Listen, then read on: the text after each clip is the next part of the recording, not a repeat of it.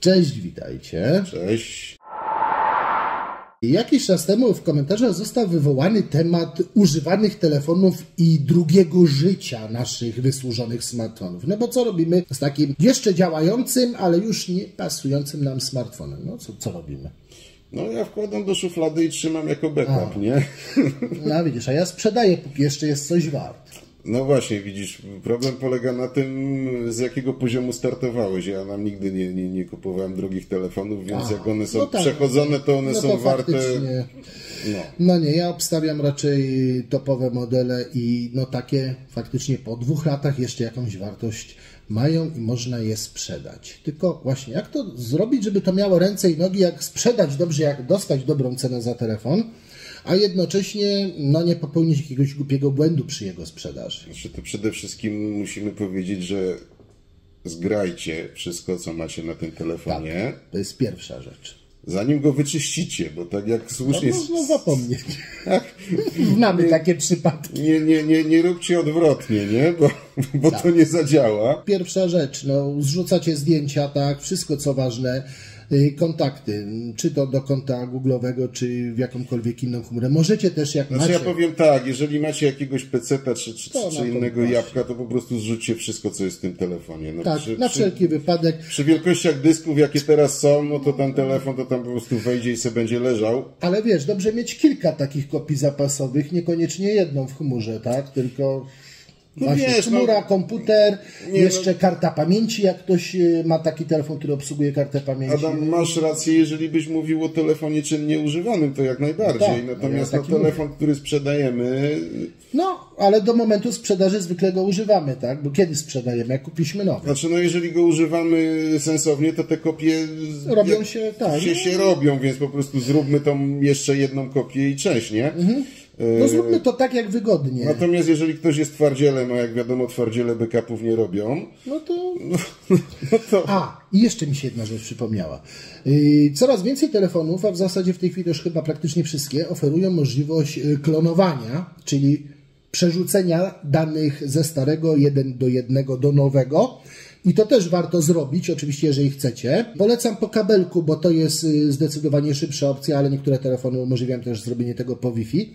W każdym razie zachowajcie kolejność. Najpierw zrzućcie dane, czy też sklonujcie sobie telefon, a potem dopiero y, czyście stary, a nie odwrotnie, a no przyznaj mi się tak zdarzyło. Także y, przestrzegam, naprawdę można to zrobić w sposób y, tak odruchowy i tak przez zapomnienie, że naprawdę jest to możliwe. znaczy wiesz. co, najpierw sobie wyczyściłeś, a Tak, potem i- pomyślałeś, że teraz Jak grasz. nacisnąłem wyczyść, to pomyślałem o matko, przecież miałem zgrać i tego w końcu nie zrobiłem, a byłem, wiesz, przez pewien moment przekonany, że zrobiłem. Także naprawdę uważajcie, bo wierzcie mi, że łatwo y, o kiksa. A jak wyczyścić ten telefon z danych? Szukacie, wchodzicie do menu ustawień i tam szukacie opcji pod tytułem resetowanie, przywrócenie ustawień fabrycznych. I przywracacie ustawienia fabryczne. Oczywiście telefon Was kilka razy zapyta, czy aby na pewno. No i potem po prostu sprawdźcie, czy faktycznie on wrócił do ustawień fabrycznych, czyli do tego menu startowego. Jeżeli mieliście jakąś kartę włożoną, No, wyjmijcie. wyjmijcie, nie? No i najlepiej, jeżeli nawet chcecie bardzo sprzedać telefon z kartą, bo akurat tak, yy, to tą kartę lepiej jest wyczyścić po Sformatować prostu. Sformatować, nawet tak. wyjąć Nie w telefonie, tylko W komputerowym czytniku i potem dopiero w telefon, ona się znowu w telefonie. Jak macie tę pewną dozę paranoi, to nawet są specjalne Tak, programy no. do, do zamazywania, bo Dokładnie. formatowanie jest procesem odwracalnym w sporej części. No jak naprawdę jakieś nie chcecie, żeby zdjęcia, to tak samo w przypadku telefonu dobrze natłuc jakichś pustych zdjęć i znowu zrobić mu przywrócenie do ustawień fabrycznych, żeby znowu te dane nadpisać, ale mówię, to już troszeczkę zalatuje paranoją, natomiast No jak czym, chcecie być pewni, no to nadpiszcie dawne dane nowymi. No. No i jeszcze taka jedna uwaga, no jeżeli faktycznie macie jakieś takie ważne dane, jakieś nie biznesowe, czy, czy, czy jakieś takie kompromaty szyfrowane mocne, to po prostu nie, no to nie sprzedawajcie tego telefonu, tak, no bo to to, nie też, jest no. warte, nie jest warte ryzyka. Bo podejrzewam, że to przywrócenie ustawień fabrycznych, jeżeli ktoś się do tego dorwie, kto No naprawdę tak, to będzie chciał będzie i miał chciał, to odpowiedni odwróci, budżet, tak. to, to będzie w stanie Tak, o tym też musicie pamiętać, ale no mówię, to, to są takie bardzo, myślę, jednostkowe przypadki. No ale jeszcze warto pomyśleć o tym, jak podnieść wartość telefonu. No o tym, że trzeba go ładnie pokazać, to chyba nie muszę Wam mówić. Telefon musi być czyściutki. Jeżeli na nim jest jakaś folia ochronna fabryczna, czy szkiełko już takie trochę znoszone, to ja proponuję odkleić i albo sprzedawać sotę i pokazać, jaki ma pięknie zachowany, nieporysowany wyświetlacz, albo zainwestować nawet tą dychę w te najtańsze, jakąś tam szybkę folijkę, szkiełko i ją nakleić nówkę sztukę, żeby klientowi pokazać, że telefon jest faktycznie jak nowy i jest, yy, no po prostu ładnie się prezentuje. Tak, warto, warto, jeżeli nie macie kompresora, pewnie większość ludzi No nie, nie, ma kompresora, to to ja za, za. Zakupić nie. Zakupić to taką, tak, no. takie, takie, takie coś. Przedmuchać wszystkie szczelinki, otworki zdecydowanie też warto. No. Dobrze jest też przyjrzeć się. Nie, ale są takie sprę- sprężone powietrza No, czy nawet to, to jest kupić, najlepsze. Oczywiście warto też obejrzeć ogólnie, jak telefon wygląda, i y, moim zdaniem nie należy ukrywać przed sprzedającym, jeżeli gdzieś wystawiamy ogłoszenie z tym telefonem, wad telefonu, czyli wypisać, że na przykład słuchajcie, wszystko działa, ale na przykład kabelek od ładowarki jest ukruszony, albo nie wiem, brzęczy głośnik. Bo to po prostu i tak do Was wróci, po co później mieć problem, jak y, kupujący Wam odeśle telefon i się z gościem użerać. No właśnie, też Lepiej taka, taka rzecz, jeżeli to kabelek od ładowarki jest taki trochę to zmęczony, to kupcie nowy No. i tyle, nie? Podniesie to wartość telefonu. To są takie pierdółki, ale wiesz, wydasz 20 zł, a odzyskasz na przykład 50, to jest sprzedając telefon drożej jako prawie nowy albo tam perfekcyjny, idealny, jedyny taki, nie? Ludzie też kupują oczami, no Dokładnie, to co Adam mówi, wy, wy, wy, wypicować bardzo go, wydmuchać i, i tyle.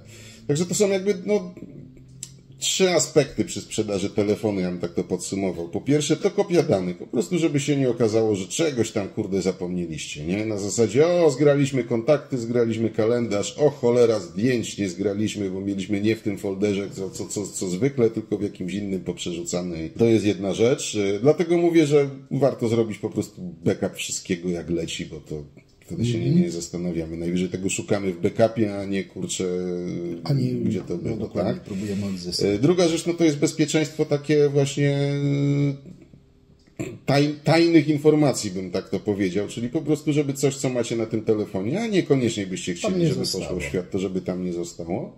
No i trzecia rzecz, no, no to jest aspekt wizualny, czyli no i ogólnie marketingowy, podnoszenie wartości, no, wyczyścić go, wymienić mu jakieś takie tanie pierdółki, które są tanie, a O, jeszcze mi się przypomniał, jak macie do tego nawet ten filmowy, zniszczony silikonowy pokrowiec, to, to, to po prostu nie dodawajcie do zestawu, bo on tylko źle wygląda i nic więcej. No, mm, fajnie jest, yy, niektórzy ludzie mają zwyczaj zachowywania oryginalnych pudełek. No Tak, jeżeli to jest, to zdecydowanie podnosi wartość telefonu i jakby podkreśla jego legalne pochodzenie. No oczywiście warto mieć też dowód zakupu. Jeżeli macie, to nawet jak ten paragon już jest wyblakły, nieważny i tak dalej, to też go dodawajcie do y, zestawu, no, albo fakturę. No najlepiej mieć fakturę, bo wtedy to jest wydruk na papierze trwalszy po prostu. Jeżeli miał telefon jakąś historię serwisową, to też moim zdaniem nie warto jej ukrywać, bo to prędzej czy później wyjdzie, a po co ma do Was y, szczęśliwy w cudzysłowie nabywca wrócić, nie wiem, po miesiącu czy dwóch, jak poszedł do serwisu i się okazało, że telefon już był ileś tam razy naprawiany, nie? No, także lepiej tego nie ukrywać, bo to, to wychodzi, ja powiem Wam szczerze, no, Zależy na kogo traficie. No, z dobrą historią serwisową to nie jest zły sprzęt, bo zresztą tak samo jak samochód, tak? Mógł mieć stłuczkę, ale ważne, żeby nie był poskładany z trzech, no i tak samo z telefonem, no dobrze, okej, był zbity wyświetlacz, był wyświetlacz wymieniony w prawdziwym serwisie na oryginał, więc ten telefon nadal przedstawia dobrą wartość, także nawet tego się też nie że- bójmy i tego nie ukrywajmy. Nawet bym powiedział, że lepszą, bo ma nowy wyświetlacz. No, dokładnie, nie? tak. No, na Mniejsza szansa w wypadku AMOLEDa, że na przykład coś będzie wypalone, nie? No, no, no właśnie, no to nawet może podnieść wartość. No. Jak ktoś się boi wypalenia, to rzeczywiście. Wiesz, jak się sprzedaje Nowe. samochód, to się mówi, że na przykład tłumik wymieniany w zeszłym roku, nie? No tak, no dokładnie, więc no nie należy się tego bać, więc telefon z długą historią serwisową to też nie musi być złym telefonem, o tym też pamiętajcie. No i oczywiście też taka na koniec oczywista porada, zanim ten telefon wystawicie, to przyjrzyjcie ogłoszenia, po ile te telefony chodzą. No i popatrzcie, gdzie wasz się prasuje i jakby y, na tej podstawie ustawcie cenę. Jak chcecie go szybko sprzedać, to dajcie dobrą cenę. Jak wam nie zależy na szybkiej sprzedaży, to myślę, że warto próbować dać wyższą cenę, bo może na, na przykład komuś być wygodnie kupić u was, bo odbierze go osobiście, bo mieszka obok.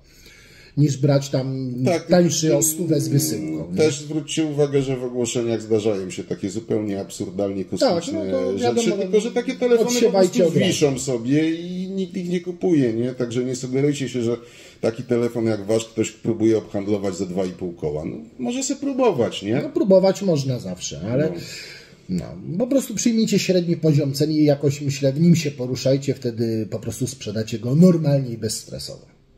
I powodzenia w tej sprzedaży. I dawajcie koniecznie telefonom drugie życie, nie pozwólcie, żeby leżały w szufladach, bo to jest bez sensu. Ten sprzęt poleży dwa lata w szufladzie i go oddacie do elektrośmieci. No pewnie tak się skończy, no, No. bo to wiesz, To bo lepiej wtedy, przyjdzie, bo, odzyskajcie nawet tą stówkę i, i miejcie coś. bo wtedy przyjdzie po prostu już następny do szuflady i ten... A poza tym zawsze możecie dać ogłoszenie, że zamienię ten telefon na coś. Worek pszenicy na przykład. Albo koło od rowera. Na co chcecie? No, moim zdaniem trzymanie 10 starych telefonów w szufladach jest totalnym bezsensem, a im są to nowsze, droższe, lepsze modele, tym właśnie nie ma sensu tego trzymać, a jako backup to sobie zostawcie jakiegoś tam chrupka i tyle. To chyba tyle, tak? No chyba tyle. Wiecie co robić. I trzymajcie się ciepło. Do następnego. Cześć. Cześć.